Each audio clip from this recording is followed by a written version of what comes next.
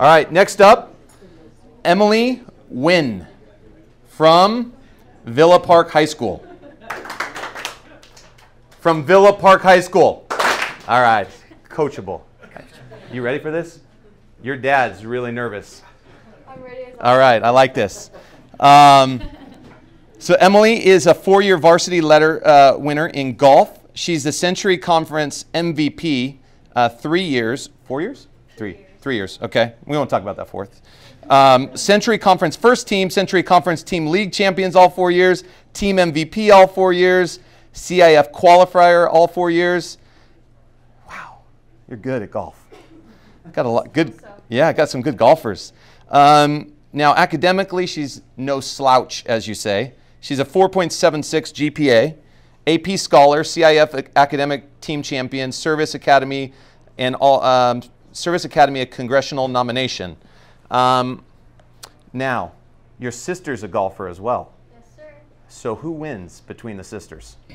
Our official match during my freshman year, I came out to be champion. You took her? Yeah. Yes.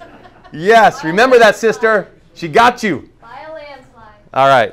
Um, awesome. We, we like the family, you know, we like to bring the families into this. Um, all right, so extracurricular, you've also been involved with California Scholarship Federation, National Honor Society, and U.S. Kids Golf Orange County. Um, so, how talk about that experience of uh, you giving back to the youth and kind of teaching them. What did you get out of that experience? Well, volunteering for U.S. Kids is different because normally, um, as a tournament player, you're used to be on the course and going behind the ropes and trying to, you know, conduct everything together and trying to get kids who are just playing golf to understand the rules and knowing where to go. It's kind of, kind of a struggle a little bit sometimes, but. Um, at the end of the day, you're doing better for them because they're learning about a sport that can last a lifetime. Yeah. And you know the bond between parents and kids because U.S. Kids allows um, the parents to caddy. It really makes the bond between parents and child. Awesome. Okay, so if you could play one round, Tiger Woods or Michelle Wie. Tiger Woods. Oh, wow. See, wow, yeah, Tiger. Talk about Tiger. Um, uh, all right, so so your money's on him this weekend, PGA Championship. Maybe on the side. Okay, okay. I like it. All right, next up. Now, golf is such a hard game. You describe yourself in your letter as an optimist. I think uh, as a golfer, you have to be, right? Now, what has the game of golf taught you, and how will this be a strength to you moving forward? You know, golf to me has always been like an individual sport. Um, you know, ultimately, when you play in a team, you still have to take care of your own shots and develop your own way to, you know, finish the hole out. You know, there's so many ways. There's you don't just sit in the fairway get on. You can, you know, get in the worst trouble, but the real important thing is how you get out of it, which is what I take and um, look into when I go forward with my life.